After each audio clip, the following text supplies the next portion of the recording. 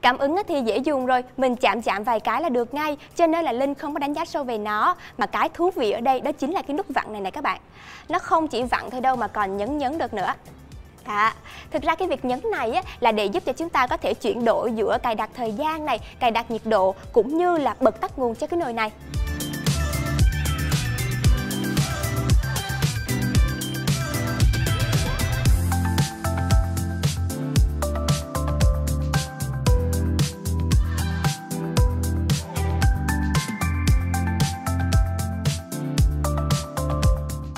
Xin chào các bạn, với xu hướng ăn sạch sống khỏe cũng như là tiết kiệm thời gian nấu nướng thì ờ, những chiếc nồi chiên không dầu dường như là đã không còn xa lạ gì đối với các gia đình Việt nữa rồi.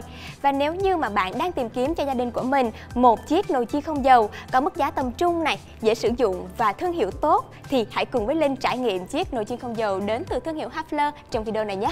Bắt đầu!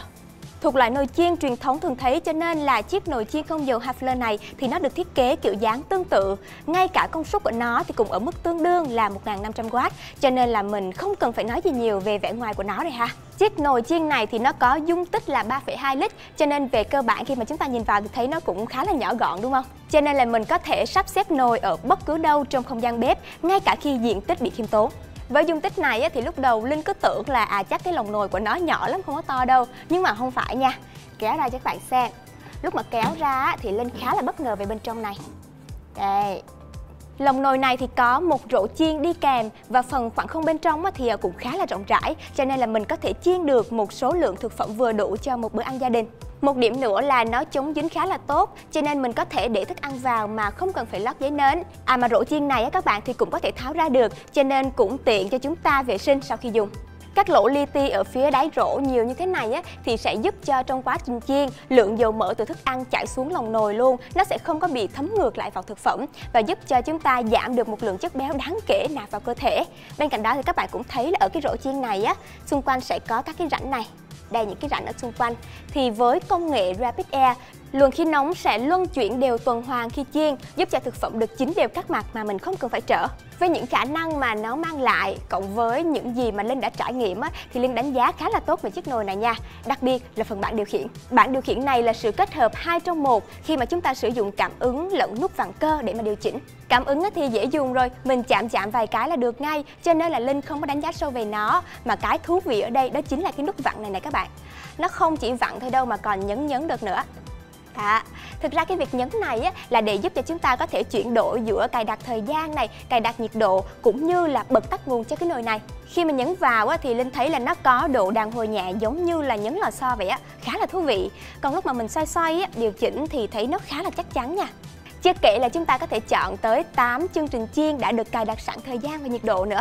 Cái này thì nó khá là phù hợp cho những ai mà mình ít xài nồi chiên không dầu, đặc biệt là các cánh mày râu chúng ta hiếm khi vào bếp. Thành ra cái việc nấu nướng thì dường như trở thành một bài toán lớn lao mà các anh cần phải tìm lời giải. Vậy thì lời giải nó nằm ở đây. Những cái chương trình đã được cài đặt sẵn này rồi chính là đáp án tuyệt vời nhất cho tất cả các anh. Chúng ta có thể tha hồ trổ tài nấu nướng và khiến cho chị em phải trầm trồ ngưỡng mộ nữa. Thế nhưng mà chị nói không thôi thì không được ha.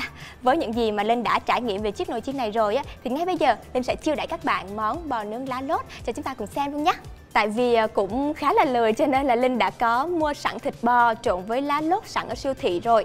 Mình sẽ cho bò vào lòng nồi. Để bò chín thơm ngon hơn thì à, Linh sẽ xịt một lớp dầu mỏng lên trên. Và Linh sẽ đem đi chiên bò trong khoảng 10 phút với chương trình chiên thịt chỉnh nhiệt độ là 170 độ C. À mà có thêm một cái điểm hay nữa là cái nồi này á, sẽ có đèn thông báo nha. Một cái dải đèn nó nằm ở đây. Bình thường thì đèn sẽ báo xanh, thế nhưng mà khi chúng ta nhấn bắt đầu cho nồi chiên á, thì đèn sẽ chuyển sang đỏ để cho mình nhận biết. Trong lúc mà nồi đang chiên á, thì cái lớp vỏ phía ngoài này thì nó khá là ấm nóng. Thành ra nếu mà chúng ta muốn kéo cái lòng nồi này ra thì mình cầm tay cầm và kéo ra ha. Chứ các bạn đừng có chạm vào đây. Nhất là những bạn nào mà có làn da nhạy cảm á, thì nó sẽ khá là nguy hiểm á. Khi mà nồi chiên đã được 5 phút rồi, Linh có rút ra xem thử thì thấy là nồi ngừng hoạt động ngay tức khắc luôn. Và Linh nhìn vào thì thấy là lớp thịt trên dưới dường như là đã ngã màu vàng nhẹ khá là đều mà mình không cần phải trở. Xem ra thì nồi chiên khá là đều này. Và khi mà Linh đóng lại thì nồi hoạt động lại liền.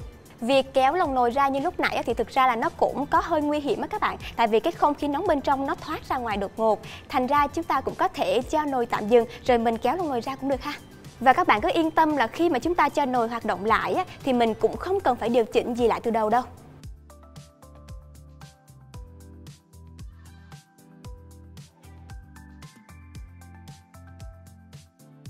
Đó, vậy là chiên xong rồi này. Các bạn thấy là các miếng thịt thì dường như nó đã chín vàng, mặt trên hay dưới thì đều chín vàng ươm luôn mà mình không cần phải trở gì hết. Và lên thấy là cái miếng thịt này nó cũng không có bị dính vào rổ chiên nữa. Xem ra là lớp chống dính của rổ cũng khá là ok chứ ha rồi, xé thịt ra đây xé ra thì linh thấy là bên trong cũng chín đều luôn rồi, kết cấu chính rất là ổn nha trong lúc mà chiên thịt đó thì Linh cũng đã có đo xem là nồi sẽ tiêu thụ bao nhiêu lượng điện năng. Các bạn có thể tham khảo kết quả mà Linh đo được nhé. Vừa rồi là tất cả những gì mà Linh muốn chia sẻ với các bạn về chiếc nồi chiên không dầu đến từ thương hiệu Hafler này. Các bạn thấy như thế nào? Có đáng để cho mình mua chưa? với một thương hiệu đến từ Đức thì Linh chắc chắn là chất lượng của chiếc nồi này sẽ không làm cho các bạn phải thất vọng đâu.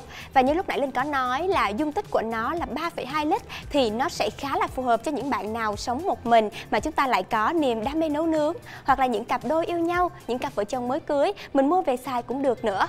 Và tất nhiên giá của nó thì cũng nằm ở mức phải chăng để chúng ta có thể dễ dàng mua về sở hữu. Chi tiết là bao nhiêu thì Linh sẽ để ở phần mô tả, các bạn có thể tham khảo thêm nhé.